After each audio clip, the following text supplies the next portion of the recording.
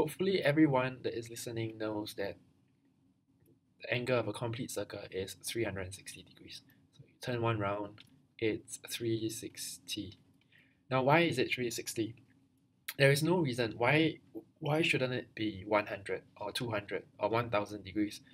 Now this is probably due to some historical reason where it's got to do with the rotation of the earth around the sun. So one one year is about 365 days, which is close to 360. So historically, from different cultures, there is this affinity with the number 360. So it makes sense that one complete round is 360. Is there a better way to describe an angle of a complete circle? So 360 is a number that is man-made. Is there something that is more natural? Now for that, you have to look at a circle. A circle on Earth is the same as a circle on Mars or on the Andromeda galaxy somewhere far away. If there is an alien or there are alien species, they will know what a circle is. Now the thing about a circle is that there is a very special property. If you were take a ruler and if you were to measure the circumference of the circle and then you measure the diameter the circumference of the circle divided by the diameter will always give you pi. Now, this is true no matter where you are, whether you are in this world or you are in another galaxy. And that is true for any circle, so of any size. So if you were to draw a circle anywhere, and you measure the circumference and, and the diameter, if you divide it, you will get pi. 3.142, it's a special, very special number. We didn't choose it, it is there and it is embedded by nature. Another number that is embedded in nature is the number 1. 1 means unity. It's either 1 or 0. So no matter what is the base of your number, we are using base 10 because we have 10 fingers. If you have 11 fingers, you will still understand what is 1. 0, 1, 2, and then it goes up. Now, computers understand binary numbers 0 and 1. So 1 is also something, a value that is embedded in nature. So if we have a circle, and then we set the radius to 1 r is equals to 1 one complete circle will be circumference is equals to the diameter times pi. And the diameter is 2 because the radius is 1 so you will have 2 pi. So one round the circumference is 2 pi. Now this is a much more natural unit than 360. Over here, 360 means one round. But when we set the radius to 1, one round means 2 pi.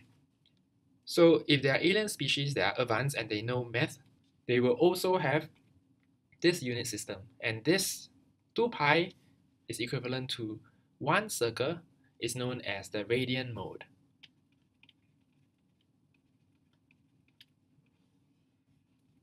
So let's see how we can use this. So if 2 pi is equivalent to 360 degrees, you can easily find any other angle in radian mode. So correspondingly, 180 degrees will be pi, and 90 degrees will be pi over 2. So you can always convert between radian and degree. So for example, if you want to find what is 23 degrees in radian mode, all you will have to do is to take pi divided by 180 times the degrees. So if you press your calculator for this, you will have the answer. So let's look at something that is a little more concrete. For sine x is equals to 0.45, find x in radian mode.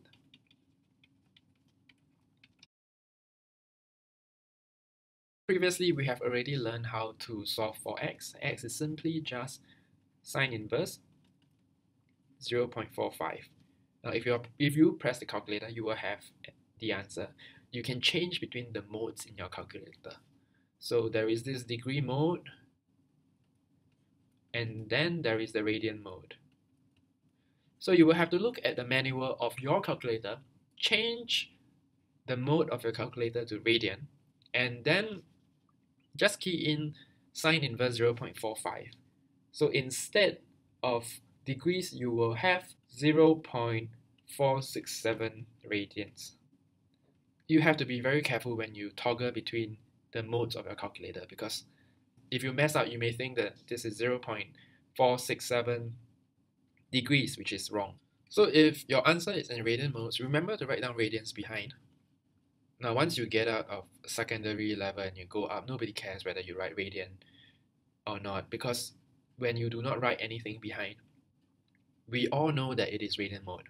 And if you want to write in degrees, you will just have to write it explicitly as 26.75, 26.8 degrees. So writing this means degree, and if you don't write, we know that it is radian. But in a secondary school level, you have to write radians to make it explicitly clear. So don't forget that. So how do you convert from this radian mode to degree? Simply just take 180 degrees divided by pi multiply by 0.467. You will have your answer. So you need to know how to trans translate from degree to radians, radian to degrees. But it is it is a simple method because you know it is proportional.